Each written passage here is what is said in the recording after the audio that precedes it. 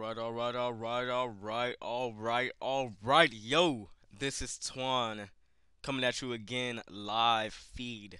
Not really live, but I'm live right now.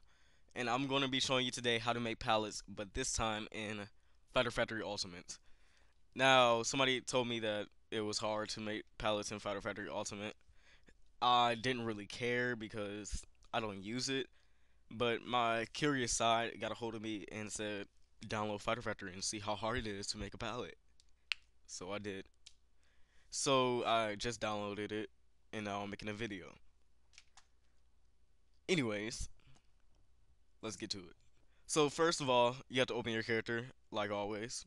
Open the character's def file, and it will bring up this screen.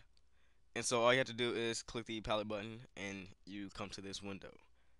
First thing you have to do is make sure you switch the edit mode to character and then keep the rest of the left side the same. And then to change the colors, you just double click the color that you want to change. You can zoom in if you want to by pressing this plus the magnifying glass. And then once again just click the uh, double click the color you want to change and then change it the color. Hmm.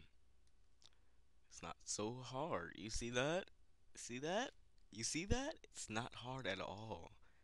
All you have to do is double click find the color you want and press OK and it changes the color.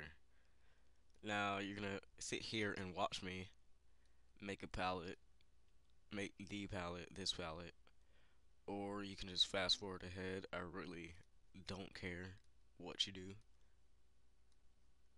But all I'm doing right now is changing the colors.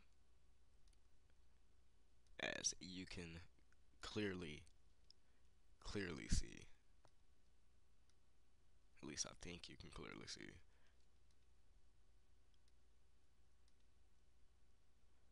Do do do do do.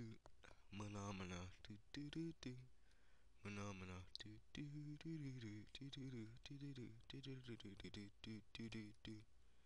Phenomena. Phenomena. Phenomena.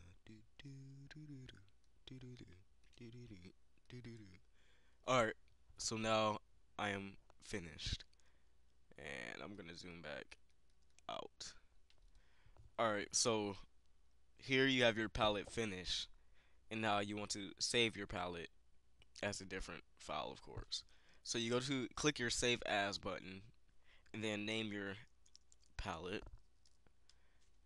Then to view your uh, palettes on your sprites so you can make sure you have everything right and accounted for, you click your definition file again and you, in this case, all of them are full. So I'm gonna change one of the uh, names to the palette I just made, and then press save.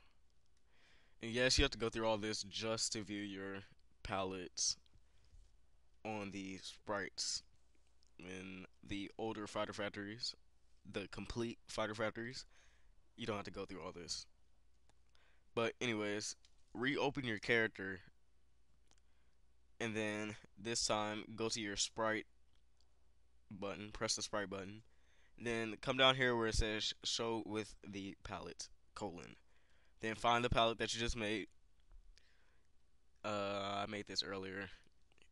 And then once you click it you can now go to view through your sprites and see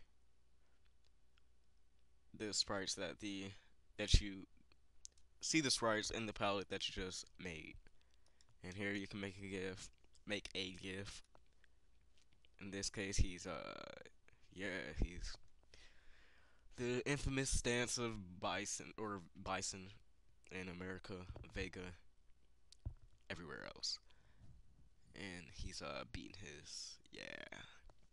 Anyways, yeah, that's how you do it. That's how you view your palettes on the sprites, and that's before how you make your palettes. And so now you know how to make palettes in Fighter Factory Ultimate. And thank you for watching. Hope you learn how to make palettes in this version of Fighter Factory. I am now going to delete this version of Fighter Factory because I like my Fighter Factory. That's not ultimate. So yeah, peace out y'all. Stay golden. Have fun in life.